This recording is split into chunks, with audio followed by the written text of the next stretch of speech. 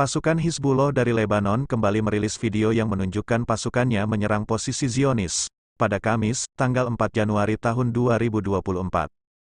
Dalam video terlihat pasukan Hizbullah meluncurkan rentetan rudal ke sejumlah situs militer Zionis.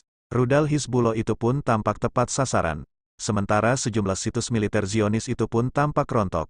Kepingan-kepingan ledakan situs militer itu juga tampak berhamburan. Namun tak dijelaskan lebih lanjut lokasi situs militer Zionis mana saja yang diserang Hizbullah.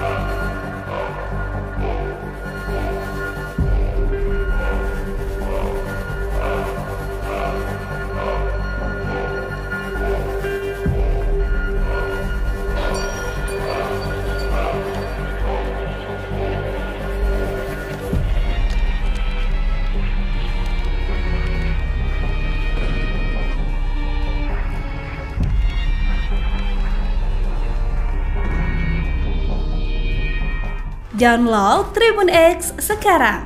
Menghadirkan lokal menjadi Indonesia.